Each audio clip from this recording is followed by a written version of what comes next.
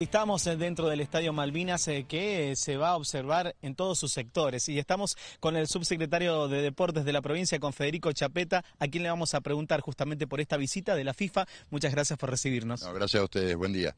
Sí, el viernes vienen, eh, hemos comunicado, la AFA también, que vienen el viernes una, una comitiva de la FIFA, como hacen previo a un evento internacional. Muy rápido todo, porque recuerden que esto se hacía en Indonesia, creo que era se suspende y AFA levanta la mano y Argentina cede. En estos tiempos empieza el 20 de mayo, están recorriendo a partir del viernes todos los estadios posibles para hacer sede.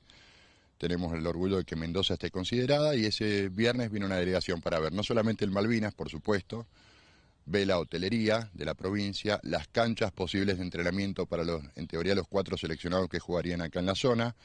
Bueno, una, una reunión, un día movido, con muchas visitas y, esperamos que luego de eso rápidamente lo tendrían que definir porque estamos a contratiempo, o sea, 20 de mayo arrancaría. No es normal estos plazos, eh, pero bueno, ahí nomás nos confirmarían, espero yo somos optimistas, que Mendoza podría hacerse de este sub-20. Sería muy lindo también por el posicionamiento del estadio, ¿no, Fede? El estadio y la provincia en general. Vamos a tener eh, muchos días acá prensa internacional, otra vez hablando de, la, de Mendoza en general, por supuesto el Malvinas, pero de Mendoza en general, sus, servicios turísticos, todo lo que implica la marca Mendoza. Por eso somos optimistas y levantamos las manos para hacer sede. ¿Qué pasaría con eh, el club Antonio Tomba concretamente si se concretara justamente esto?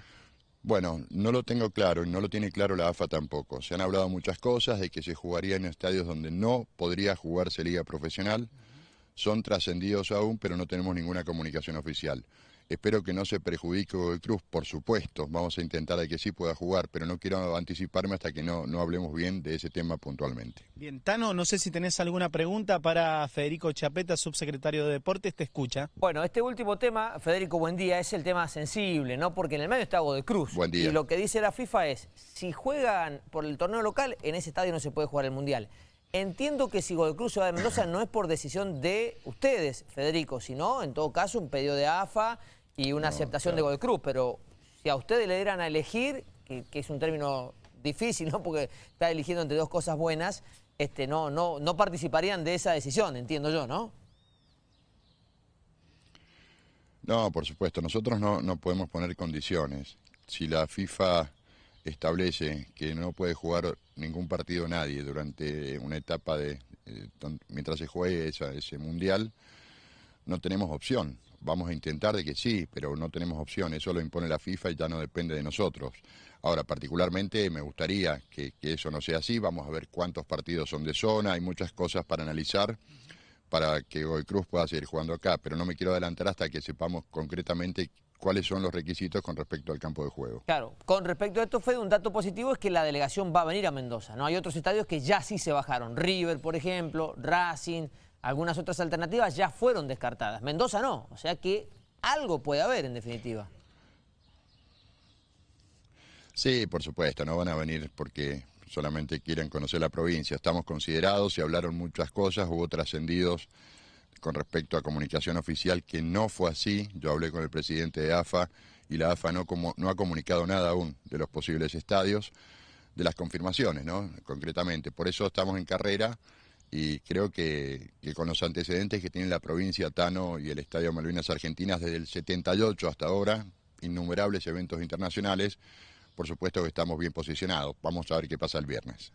Federico, ¿y hay algún pedido especial o, todavía nada en cuanto a luminaria, algo de eso que tengan que modificar o eso va a depender justamente del arribo el viernes de esta delegación de la FIFA? No, no, depende de... Eh, no tenemos nada puntual. Ellos vienen a conocer, si bien el estadio es mundialmente conocido, por lo que te comentaba anteriormente, pero esta gente viene a, verificar todo el viernes y ahí veremos si, hay, si hay otro requisito. Yo entiendo que no, es mi, bueno, mi opinión, pero vamos a ver si, si requiere algo más para que se juegue acá. Algo ya se hizo, recuerdo en la Copa América, que lamentablemente y posteriormente no se jugó en nuestro país, sino que se fue a Brasil, que se iba a jugar y entiendo que ustedes alcanzaron a hacer algunas tareas allí, ¿no? Sí, por supuesto, desde el río por aspersión, una obra hidráulica muy importante, remodelación de palcos, reposición de butacas, eh, luminarias LED en todo el entorno del Malvinas, bueno, algunas obras no de fondo, pero que por supuesto lo pusieron a tiro para, para poder ser sedes de esa frustrada Copa América.